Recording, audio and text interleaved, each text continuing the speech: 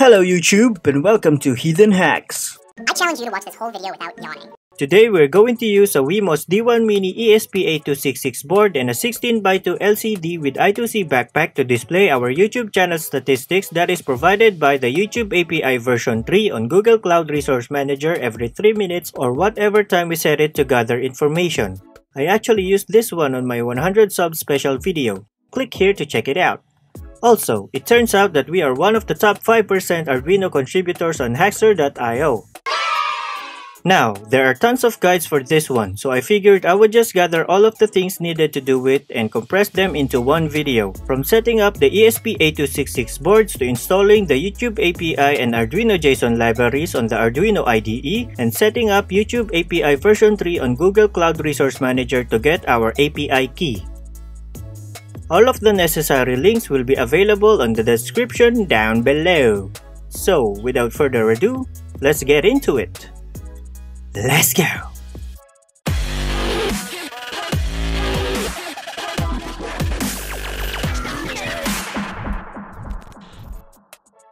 First thing we need to do is to download the ESP8266 boards using this GitHub link.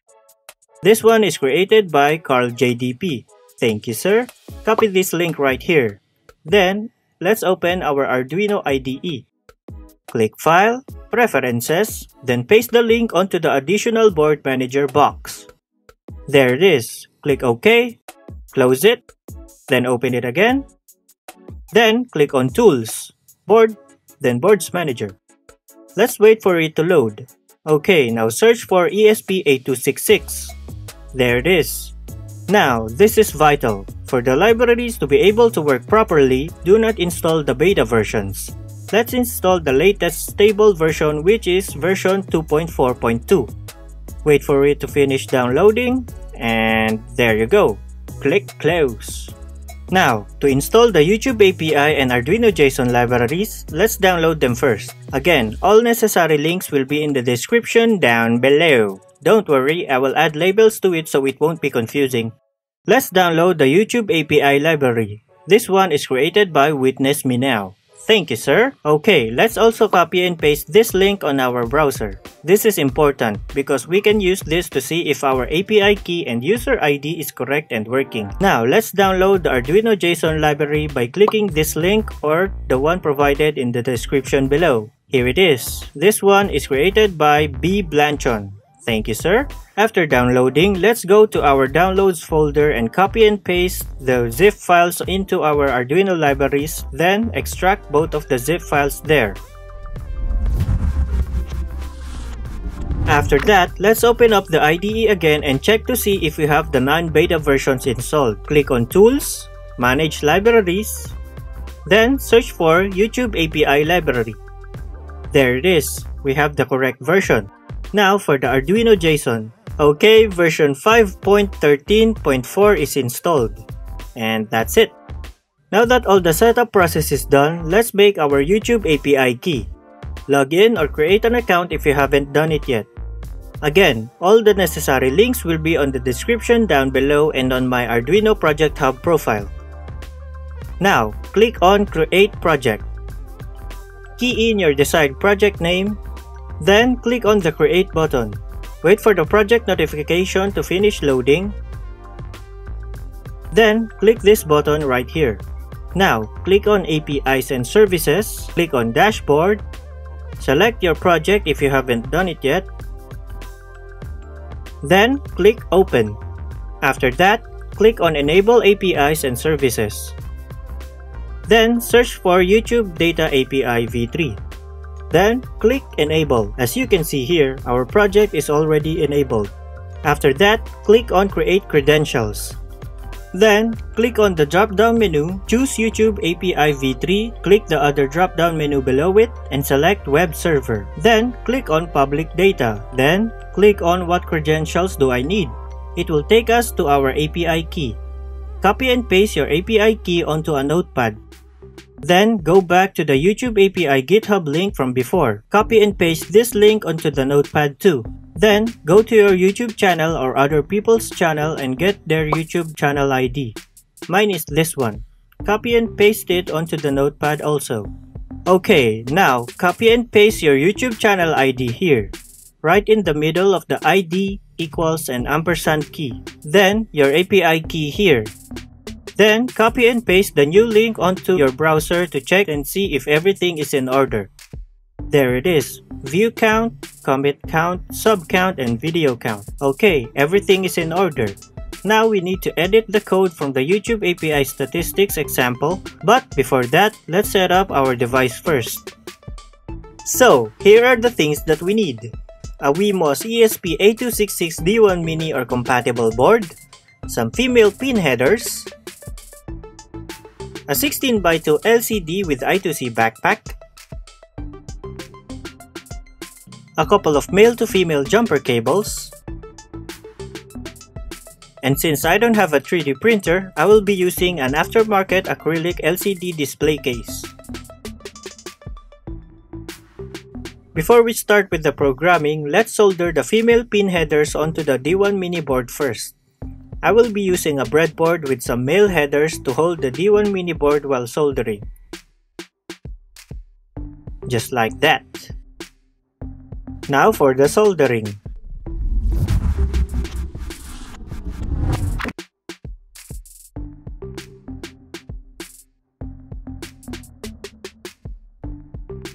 After soldering, let's upload some test or example codes to see if our board is working properly.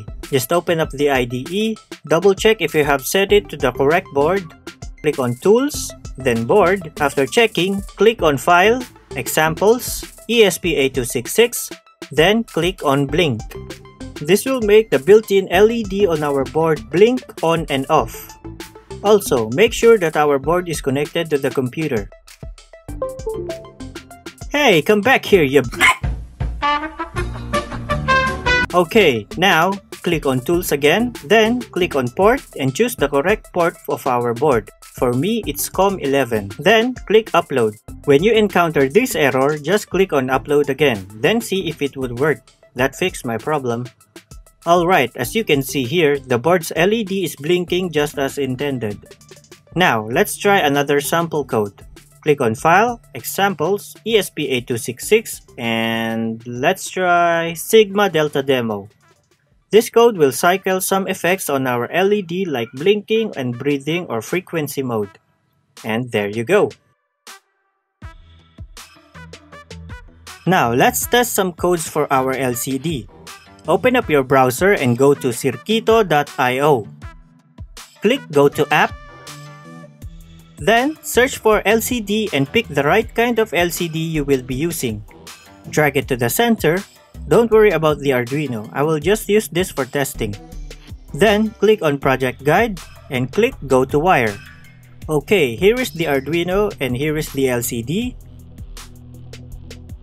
Here we will see the wiring part and where we should connect the LCD on our D1 mini board. The black wire is going to be the ground or GND the white wire is going to be the positive or VCC and the other two is for SCL and SDA. SCL is the purplish one and the SDA is the gray wire. So GND or ground is the ground. SCL is to A5, SDA is to A4, and VCC is to 5V or 5 volts. The diagram for the D1 mini board will also be provided at the link on the description down below. Okay, so now that we have connected it to our board, click on code and then download code. Then go to the download folder, extract the zip file, open the firmware folder, then click on firmware.ino. There it is. This is the code that we need. Then connect the MCU to the computer. Then, upload the code. After uploading, open up Serial Monitor. Click on Tools, then Serial Monitor. It says LCD not found. Hmm, could it be that my LCD is broken or there is something wrong with the code? Now, if you encounter this issue, what you can do is follow this instruction right here. Try the given addresses by uncommenting or commenting the following rows until the LCD works follow the serial monitor prints. Okay, so I'm going to comment this one and uncomment this one.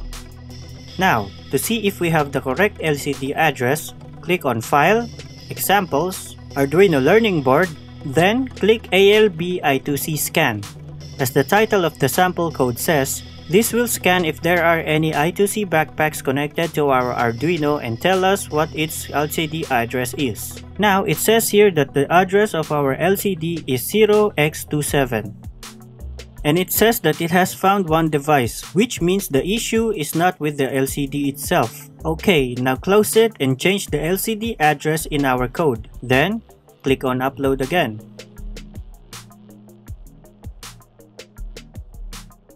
And there you go.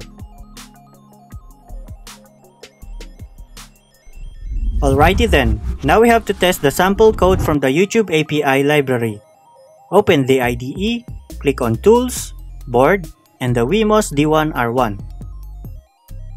Then click on File, Examples, YouTube API, ESP8266, and Channel Statistics. Okay, type your Wi-Fi SSID or the name of your Wi-Fi here, your network key or Wi-Fi password here, then copy and paste your API key from Google here and the channel ID that you want to use right here. Then make sure that your D1 mini board is connected. Click on serial monitor, select the correct port, set the baud rate on the serial monitor to 115,200, click on verify or compile, Then, upload your code. Okay, upload is done. Wi-Fi is connected. There's my IP address during the recording of the video. And wait for about a minute to see the channel statistics. Because the code is set to request for it every minute by default. We can change it though. There it is. Sub count is 95. Views is 33,530. Code is working. We just need to change the serial to LCD I2C. So now we will edit the code to our preference and to display the statistics to our LCD. Just like before, open the IDE, click on File, Examples, YouTube API, ESP8266 and then Channel Statistics. Enter your data Then copy and paste the code onto a new sketch so that if we ever make any errors or if we accidentally save it during the coding process, the raw and unedited sketch is still safe. Okay, then save the file. Copy and paste these things to the folder where the saved file is. These are from the code that we got from Circuito. Close and reopen the sketch. Then, also open the sketch from Circuito. Now, we need to copy some codes from the Circuito file to our saved sketch. Copy these, the address, these things, and this one here. Then, change the serial codes to LCD I2C, just like this. Now, I'm going to try and edit it so that the statistics will be shown on both the serial monitor and the LCD. You can try this method if you want and I'm going to remove the comment count part since I don't think it will fit the LCD. Okay, let's verify and see if there is something wrong with the code. Then, click on save if all is good. Okay, now we need to connect the D1 Mini to the LCD. Let's go to the Wemos wiki and find out where we can connect it. Again, the diagram of the D1 mini board and all the necessary stuff needed will be on the description down below. Now, scroll down until you see pin. This one. Pin. It says pin. Okay, it says here that the SCL and SDA can be connected to D1 and D2. So, let's connect the black or ground wire to the GND or ground, the white or VCC1 to 5 volts, and the SDA or the gray wire to D1 and the SCL or violet wire is going to D2. There you go, just like that. Now, let's try the code. Let's minimize this, connect the D1 Mini to the computer, open Tools again, Serial Monitor, then let's upload the code. So, if there are no text showing on the LCD, let's adjust the potentiometer at the back. And if that method does not work, double check the code. See here I forgot to copy the initialization code of the LCD. Paste that under the void setup, then hit upload again. If this type of error shows up, just hit upload again and let's see what will happen. It says here that the LCD is not found. So, let's try and reconnect it and also try to switch the wire that is connected to D1 and D2. Because at this point, that's the only thing we can do, I think. There you go. And uh, click on upload again. And finally, we made it work. There it is. The text is finally showing up. What we need to do next is try to clean up how the text is being displayed on the LCD. So now that we know that the data is showing up on the LCD, we don't need it to show up on the serial monitor anymore. So we can remove these codes. Okay, compiling sketch. Here we go. Let's see. Okay, let's re-upload the code. Connecting Wi-Fi, IP address, well, it's not quite right yet, so we need to edit it more. So here is the code finally cleaned up. There you go, properly edited for the LCD. Now we just need to connect the D1 mini board and take a look at it. Connecting to Hidden Access Wi-Fi network, Wi-Fi connected, IP address, as you can see here, I have added a text that shows up while the D1 mini board is connecting to Google Cloud's Resource Manager to fetch the data. Let's wait for about a minute to see the channel statistics. And there you go. Now, I'm going to visit my channel and subscribe to it using my other account just to see if it will show the updated subscriber count.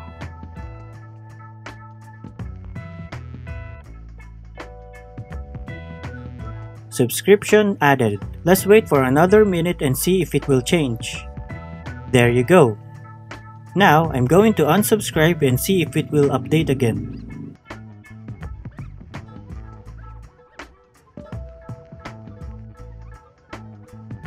And back to 96 subs. Perfect. After that, we need to set up our acrylic display case. Okay, let's get our screwdriver. Remember to remove the protective sheet of the acrylic after and not before installing it to prevent a lot of scratches. Just like that. Then install the LCD using the screws that are provided. Remember to also not over tighten it or it will crack the acrylic. Clean up some dust a bit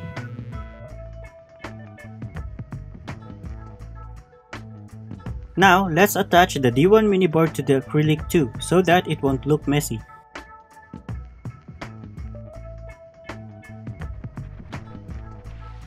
Well, it turns out that using a double-sided tape to attach the D1 mini board was a bad idea.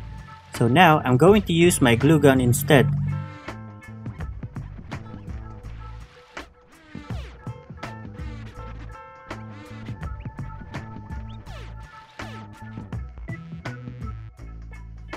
Now for a demo. I really enjoyed making this video and I hope you did too. Don't forget to click on the subscribe button if you like to see more projects in the future. Click the like button if you liked the video and dislike it if you did not find this tutorial informative enough. Also, post a comment down below, criticisms, questions, or whatever. I like reading your feedback. Oh, right, this is what the Google Cloud Resource Manager looks like after about 45 plus minutes of continuous data fetching or requests every 3 minutes. And for one last look, thanks for watching and see you again next week.